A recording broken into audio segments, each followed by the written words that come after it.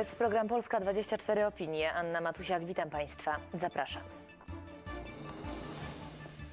Nie milkną komentarze wokół raportu MAK w sprawie przyczyn katastrofy smoleńskiej. Janusz Głowacki i Good Night Jersey, czyli wspomnienie o Jerzym Kosińskim, polskim pisarzu. Nie masz cwaniaka nad warszawiaka, odważny projekt promujący stolicę. Raport MAK-u nie jest kompletny. Zastrzeżenia polskich ekspertów potwierdził premier Donald Tusk, który chce rozmawiać z Rosjanami o wspólnym stanowisku. I choć podtrzymanie dobrych relacji z Moskwą jest priorytetem, to niewykluczone, że Donald Tusk zwróci się w sprawie wyjaśnienia przyczyn katastrofy w Smoleńsku do instytucji międzynarodowych. Piotr Kućma. Gościem Polski 24 jest już pani Krystyna Kurcza-Bredlich, publicystka, dziennikarka. Dzień dobry, witam. Dzień dobry Pani, dzień dobry Państwu. No, zawsze, kiedy coś zaczyna się dziać na płaszczyźnie politycznej stosunków międzynarodowych, e, jakoś odbija się to na polskiej gospodarce. Już pojawiły się e, głosy, że czeka polską gospodarkę w związku z mm, raportem e, MAK-u kryzys. Tak czarna wizja przyszłości jest uzasadniona? Absolutnie w sprawach gospodarczych, na sprawach gospodarczych najprawdopodobniej, nie absolutnie, bo nie mogę nic tutaj na pewno twierdzić, to się nie odbije. Odbije się na y, sprawach, na, na naszych stosunkach politycznych, ale co najgorsze, y, znowu w, dzisiaj wertując prasę rosyjską i y, to, co piszą internauci na forach, niestety ze smutkiem stwierdzam, że cała niechęć do Polaków została reaktywowana. Dlatego, że y, po pierwsze, mm, paskudną rzeczą jest y, oświadczenie na cały świat, że to y, pijany generał polski mm, właściwie jest przyczyną wypadku. Dlatego, że mogliśmy się spodziewać niekompletnego mm, niekompletnej dokumentacji faktograficznej, jeśli chodzi o sprawy y, samego lotniska. Mogliśmy się tego spodziewać, dlatego że Rosjanie y, ukrywają, skrywają to, co może być ich winą. Skrywają to nie dlatego, że była tylko wina na wieży kontrolnej i kontrolerów, dlatego że nie było tej winy, że y, w na wieży kontrolnej, tak jak i w kokpicie samolotu, była ta sama panika i ta sama determinacja, żeby nie, żeby nie lądować. I e, kontroler, który chciał zabronić lądowania, no niestety został zmitygowany przez kogoś z Moskwy. I oczywiście możemy się domyślać, kto to był ten pan z Moskwy, prawda, ten człowiek z Moskwy, który wpłynął na to, że lotnisko zostało jednak udostępnione. I e, w... Kto? Możemy wyjaśnić? Nie, nie możemy. Bez domysłów? Mhm. wyjaśnić. Absolutnie, nie możemy tego wyjaśnić, bo tutaj nie mamy żadnej pewności. Ale tak samo atmosfera nacisku panowała w kokpicie. I teraz podstawą, właściwie główną przyczyną katastrofy były fatalne stosunki polsko-rosyjskie.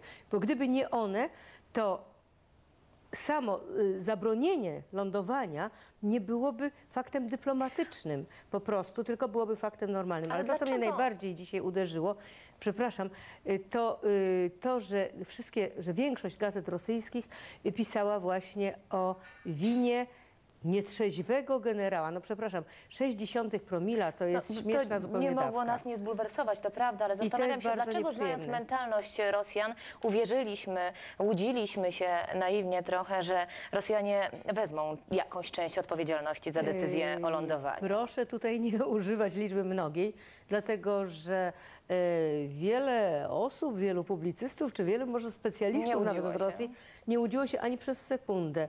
E, ja sądzę, że e, premier i, i, i rząd dali się zwieść e, początkowej, e, początkowemu współczuciu pozornemu ze strony premiera Putina. E, dlatego, że e, no, Wszyscy mieliśmy rzeczywiście- wrażenie, że te stosunki faktycznie się ociepliły. Nie tylko nie, nie tuż po wszyscy, katastrofie, nie ale wszyscy, naprawdę nie wszyscy, dlatego że y, jasne było dla wielu, że gest pana premiera Putina, który podnosi z klęczek y, premiera Tuska jest gestem wyreżyserowanym, że nie jest to gest y, y, spontaniczny i rzeczywiście pełen współczucia.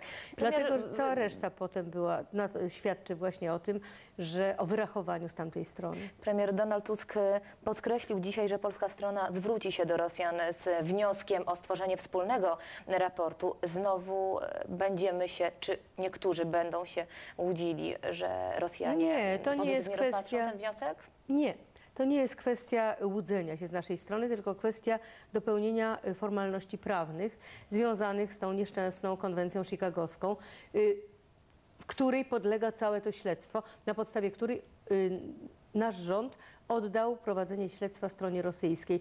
I dzięki temu, że oddał i że ta sprawa była prowadzona według konwencji chicagowskiej, to teraz może odwołać się do organizacji międzynarodowej, ale aby do tego doszło, musi najpierw przeprowadzić rozmowy ze strony rosyjskiej, które oczywiście nic nie dadzą. Na pewno na bieżąco będziemy się przyglądać rozwojowi wydarzeń. Naszym gościem była pani Krystyna Kurczap-Redlich. Dziękuję bardzo. Dziękuję.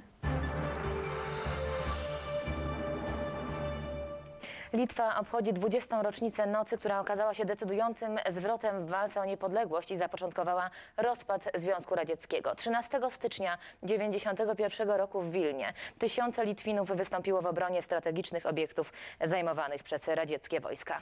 Na obchodach drugi rok z rzędu zabrakło polskich polityków wysokiego szczebla, ale 20 lat temu Polacy byli z Litwinami. Paulina Konieczna.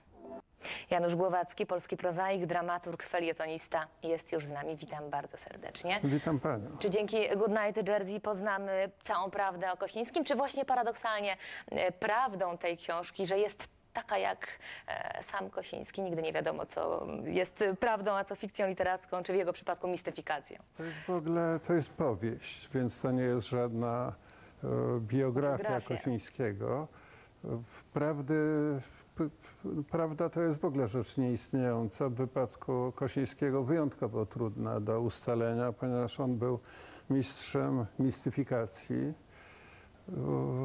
No cóż, on jest jakby jednym z bohaterów tej książki. Była to, e, miał życie zupełnie niesłychanie oszalałe i starczyłoby go dla kilkunastu ludzi albo kilkudziesięciu. Zawrotna kariera w Ameryce i później katastrofa. Pojawili się ludzie, którzy uznali całe jego życie i książki za sprytną mistyfikację.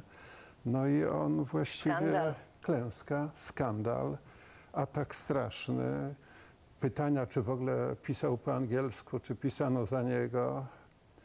On był wielkim mistyfikatorem, ale te demony, które go otaczały, których obecność wyczuwał za plecami, były prawdziwe. I właśnie pewnej nocy otoczyły go w tym jego mieszkaniu na Manhattanie, no i popełnił samobójstwo. On często mówił, że samobójstwo jest najlepszym sposobem na przedłużenie sobie życia. No i to, że tu stoimy i rozmawiamy, to jest jeden z dowodów na to rzeczywiście. A my to- mamy, praw, mamy prawo z pełną odpowiedzialnością za swoje słowa nazywać go polskim pisarzem? No polsko-amerykańsko-żydowskim strasznie to jest skomplikowane, ale to chyba nie ma żadnego znaczenia. Ważne jest, że zrobił wielką karierę i że skończyło się to bardzo dramatycznie. Czy chcemy tego, czy nie chcemy, czy nam się podoba jego twórczość, czy nie podoba. Ja akurat nie jestem takim wielkim entuzjastą. No właśnie, to jest też ciekawe. Dlaczego No tak. właśnie Kosiński, skoro wielokrotnie podkreśla pan, że nie był ani autorytetem, ani nawet jednym z ulubionych pana pisarzy? No to jest, ta moja książka to jest historią pisania scenariusza o Kosińskim na zamówienie i to jest jakby jednym z bohaterów tej książki jestem ja, Rosjanka Masza, która jest jakby wyszła z moskiewskiego piekła, wpadła w nowojorskie piekło, walka dobra ze złem, jakiś taki romans ich dziki, nieprzewidywalny i mocno zaskakujący. No i tyle, no. Kosiński mm, twierdził, że no, w jego przypadku bogate e, życie seksualne jest jedynym sposobem na to, żeby poczuć się człowiekiem, nie Amerykaninem, nie Polakiem, nie Żydem. No No, tak ciekawy sposób i teoria na zrównanie granic. Uważam, że Walka o równość. interesujące. Rzeczywiście przetarłem się przez te nowojorskie penkluby. Ja pisałem o tym dlatego, że to był też obraz świata taki w Nowym Jorku, gdzie Pretekst. właśnie... No, Tu Holokaust, tu, tu sekskluby, tu prawda, tu kłamstwo, tu groteska, tu tragedia prawdziwa. To wszystko się mieszało i taka jest ta książka, która jest chaotyczna, ale to jest zamierzane, że była chaotyczna. Myślę, że nikt nie śmiałby w to wątpić. Zostawmy Kosińskiego, porozmawiajmy chwilę, jakkolwiek patetycznie by to nie zabrzmiało, Pana życiu. Ameryka, drugi dom, druga ojczyzna, ale też miejsce, w którym, cytując Pana, doznał Pan nieraz upokorzenia, które podobno dobre jest dla pisarza. No tak mi się wydaje. O jakim upokorzeniu Emi- mowa? Emigracja, jak gdzieś napisałem w tej sztuce Polowanie na karaluchy, że emigrant to jest ktoś, kto stracił wszystko poza akcentem. Więc coś w tym właśnie było. No, takie zaczynanie zupełnie od nowa.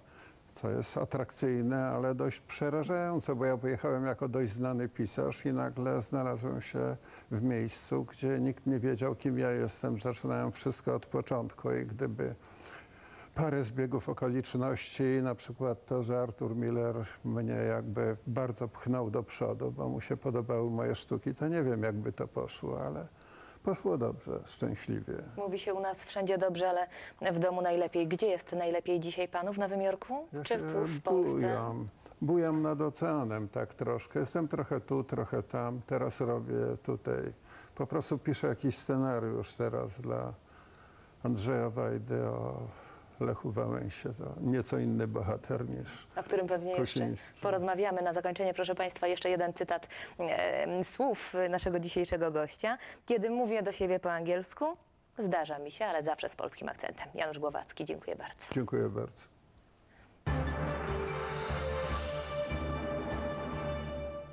Złośliwi mówią, że w tydzień dokonali czegoś, co nigdy władzom Warszawy się nie udało, że zrobili wielką, pozytywną kampanię stolicy i jej rodowitym mieszkańcom, którzy delikatnie rzecz ujmując nie wszędzie w Polsce są lubiani i szanowani. Projekt Warszawiak powstał, by wskrzesić muzyczną tradycję stolicy. Nowa wersja szlagieru Nie masz cwaniaka nad Warszawiaka zrobiła furorę w sieci i sprawiła, że po raz kolejny wszyscy nucą warszawskie podwórkowe piosenki. Świadczy o jednym. Na stare warszawskie piosenki mocnych nie ma. Paulina Witek, Polska 24. Na warszawiaka nie ma cwaniaka. Wystarczy wpisać w Google'ach y, czy na YouTube, czy gdziekolwiek indziej projekt Warszawiak i już wyskakuje strona z teledyskiem. Jest tylko jeden mały problem. Można mieć kłopot z wysłuchaniem tej wersji bez zacięć, bo łącza są przeciążone, a to dlatego, że liczba widzów rośnie z minuty na minutę. Gośćmi Polski 24 są już y, twórcy Marcin Starzecki, reżyser, Łukasz Garlicki, aktor. Dzień dobry, witam panowie. Spodziewaliście się takiego sukcesu? Milion 162 tysiące 10. Tyle pokazywały wczoraj liczniki oglądalności. Nieźle. Myślę, że chyba nikt się nie spodziewał takiego sukcesu my na pewno też się nie spodziewaliśmy takiego sukcesu. Wiedzieliśmy, że to, co robimy, ma jakiś potencjał, ale nie, nie byliśmy w ogóle przekonani, że to będzie aż tak oszałamiająca liczba wejść na YouTubie. Zwłaszcza biorąc pod uwagę to, co chciałbym podkreślić tutaj, że teledysk powstał e, jako oddolna inicjatywa, zupełnie oddolna. E, Zrobiliśmy go właściwie za darmo. Znaczy, gdyby podliczyć koszta zrobienia tego teledysku, to myślę, że na taksówki i kawy w, w przerwie kręcenia e, wyszłoby około dwu- 230, może do 250 zł, więc e, wydaje mi się, że to jest e, jak na taką liczbę odsłon i na taki jakiś rzeczywiście sukces, który nas samych zaskoczył. Który nie ma złych recenzji, to jest też fenomen. Złe recenzje są, ale one też dotyczą czego innego, o czym. Ale to jest inny temat. To jest inny temat, bo chyba To się jest inny zaczęła jakaś temat. dyskusja. Bo się tak zaczęła w ogóle dy- dyskusja a propos e, na nowo, o- której też się gdzieś spodziewaliśmy, w ogóle nagrywając utwór. Znaczy, e, zaczęła się taka dyskusja a propos tego, jaka jest e, tam różnica pomiędzy Warszawą a resztą Polski, ale to, to, może jest inny temat do poruszenia. Ja chciałem jeszcze jedną rzecz dodać, bo, bo oprócz tego, że właśnie, że to była ciężka praca i ze względu na to, że, że zrobiliśmy ten teledysk właśnie oddolnie i zrobiliśmy go właśnie dzięki ludziom dobrej woli, tak naprawdę dużo ludzi nam pomogło i, i współreżyser tego teledysku Krzysiu Konieczny, którego chciałem pozdrowić z tego miejsca, bo, bo, bo ja też też. tutaj miał być i Łukasz też Ja pozdrawia. też się dołączę. To bardzo dużo ludzi właśnie nam pomogło e, w, w realizacji tego teledysku. A propos realizacji, stary, dobry, sprawdzony tekst, mówimy o, klipie promującym Nie masz e, cwaniaka nad warszawiaka, w e, niby prostej, współczesnej, ale jakże przemawiającej aranżacji. K- Jak zrodził się ten pomysł na taką konwencję? No mi się wydaje, że tak naprawdę chodziło o to, żeby pokazać jak najwięcej warszawiaków